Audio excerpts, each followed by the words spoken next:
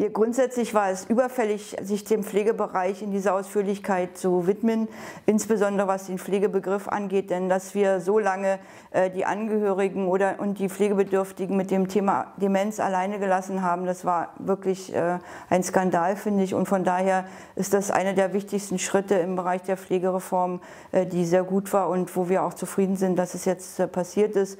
Äh, wir haben im PSG 3, äh, geht es ja jetzt eher dann auch um die Umsetzung. Ähm, wie man es jetzt auch wirklich zu den Menschen bringt, äh, was, was geplant ist. Und da könnte ich mir schon mehr vorstellen. Denn äh, wir wissen, dass äh, die Menschen dort, wo sie leben, entweder zu Hause gepflegt werden oder von Angehörigen gepflegt werden und dort, dort, dort sicher das Bedürfnis besteht, mehr Unterstützung zu bekommen. Und zwar sowohl in der Pflegebegleitung, also der Unterstützung der Angehörigen, als auch in der Ausbildung, als auch in der Entlastung. Wir brauchen Konzepte von Prävention von Pflegebedürftigkeit. Da gehören unter anderem auch die soziale Teilhabe dazu. Und es macht, glaube ich, schon deutlich, dass wir äh, die, äh, die Kommunen, die ja die Selbstverwaltung der Bürgerinnen und Bürger sind, mehr in die Verantwortung nehmen müssen, als es jetzt im PSG 3 der Fall ist. Wir haben insgesamt 11.000 Kommunen in Deutschland und wir haben jetzt Modelle für 60 Kommunen, äh, die jetzt erstmal dann auch ausgewertet werden sollen. Und von daher ist das ein Zeichen, wo, wo meiner Meinung nach sehr viel, schnell und sehr viel mehr passieren müsste. Denn letztendlich ist, glaube ich, das Zauberwort, ist Zusammenarbeit und zwar Zusammenarbeit direkt am Patienten oder am, am Bewohner. Das heißt, dort müssen alles, alles was, wir, was sich die Fachleute, was sich die Politik überlegt, muss um den Menschen herum funktionieren.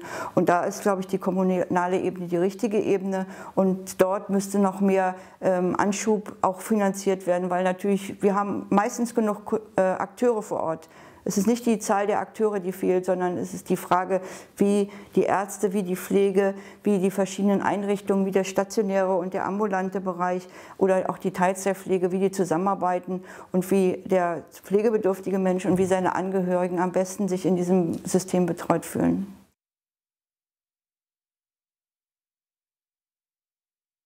Wir haben ja auch viele Formen von Nachbarschaftshilfe äh, und von solchen bürgerschaftlichen Engagementstrukturen vor Ort. Auch die müssen natürlich in der Kommune organisiert werden, dass die Menschen, die bereit sind, äh, ihren Nachbarn oder anderen Menschen zu helfen, dass die auch entsprechend äh, betreut sind und von freiwilligen Agenturen eben auch mit, den, mit denjenigen, die helfen wollen und denen geholfen werden soll, zusammengebracht werden.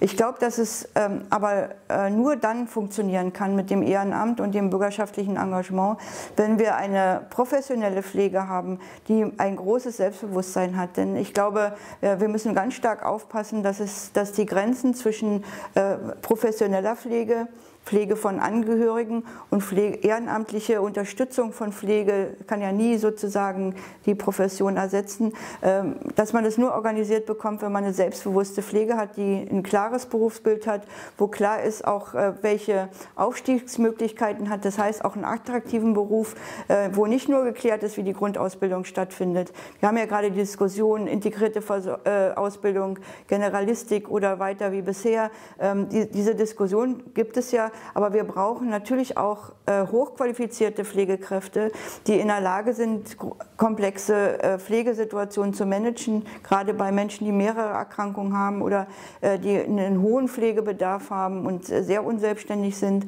Und wir brauchen natürlich auch eine Zusammenarbeit, ähm, wo klar ist, dass komplexes Pflegemanagement, wo auch klar ist, dass soziale Teilhabe ein Bereich ist, der mit integriert werden muss. Das heißt jetzt nicht, dass die Pflegekraft das machen können muss, aber sie muss in der Lage sein zu vernetzen und, und diese Vernetzungstätigkeit, neue Einsatzfelder wie School Nursing, also dass man in den Schulen auch tatsächlich ähm, ganz anders im Bereich Gesundheitsförderung unterwegs ist oder Gemeindepflege auch äh, mit eigenen äh, selbstständigen Einsatzbereichen und, und auch Verschreibungsmöglichkeiten. Ich glaube, dass man ein vielfältiges und sehr stark professionalisiertes und unterlegtes Pflege-Selbstverständnis braucht. Und dann funktioniert auch die Zusammenarbeit mit Ehrenamtlichen, die sich bereit erklären, ja in der Regel freiwillig und auch nicht ohne Zwang und ohne Bezahlung, sich in solche funktionierenden Pflegesituationen einzubringen.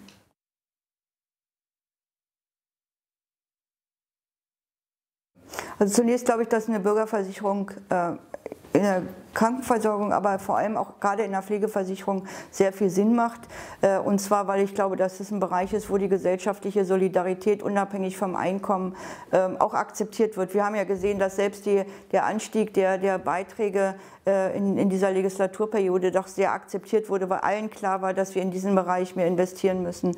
Und von daher glaube ich, dass es ein Bereich ist, wo man gut die Bürgerversicherung auch argumentieren kann, dass eben alle entsprechend ihrer Möglichkeiten in so ein Solidarsystem einzahlen. Bei den, auf der Ausgabenseite wäre ich sehr vorsichtig. Ich bin der festen Überzeugung, dass es im Moment sehr viel äh, Verlust, auch Synergieverluste gibt durch die fehlende Zusammenarbeit. Und wir sollten, glaube ich, uns im Moment eher darauf orientieren, wie wir es schaffen, dass die verschiedenen Bereiche vom medizinischen bis zum pflegerischen Bereich besser miteinander verzahnt arbeiten und patientenorientiert ähm, arbeiten.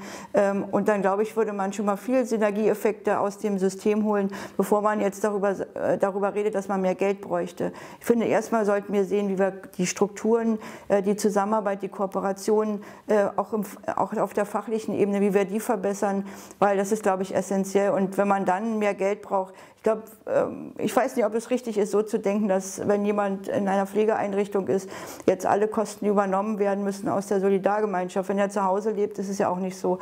Äh, von daher äh, ist das für mich nicht das zentrale Thema. Für mich ist das zentrale Thema, dass wir eine gute, solide, nachhaltige Finanzierung haben, die gerecht ist äh, und dass wir ein, ein Pflegesystem haben, was tatsächlich den Menschen im Mittelpunkt sieht und nicht immer nur als Spruch, sondern tatsächlich auch in der Kooperation der Berufe.